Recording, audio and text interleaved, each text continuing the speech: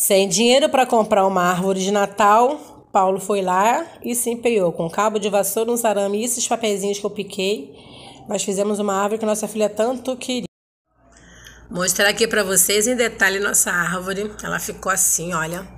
Tá vendo? Isso aqui é um cabo de vassoura, tá? Não tinha tinta branca, pintou de verde para tampar. Vocês podem ver que aqui, ó, Teve que gastar um pouquinho para encaixar essa estrela, que é da outra árvore de Natal, tá? A gente perdeu. Isso daqui é folha A4, gente, que eu... É um papel, gente, ó. Deixa eu pegar aqui pra vocês verem. É papel que eu cortei, ó. E o Paulo colou nos arame, ele cortou uns pedaços de arame e colocou aqui. O pisca-pisca do ano passado, as bolinhas do ano passado, ó, não são muitas bolinhas não.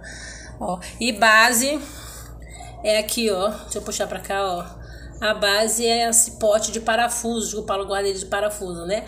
Ele quebrou, ele fez aqui, ó, deixa eu tentar mostrar. Ó. Ele furou a tampa. A gente ia botar isso aqui, né, é, num, num paninho assim, fazer tipo de um fuxicão para guardar, mas deu tempo não, tá? O Natal chegou e nós estamos aí com a nossa árvore aí, ó, linda e bonita, tá vendo? Minha filha queria uma árvore, a gente não tinha árvore pra, pra, pra, dinheiro para comprar árvore, então tem aí árvore para Dudinha, que ela ficou feliz da vida. Né? Pelo menos a árvore não faltou nesse Natal.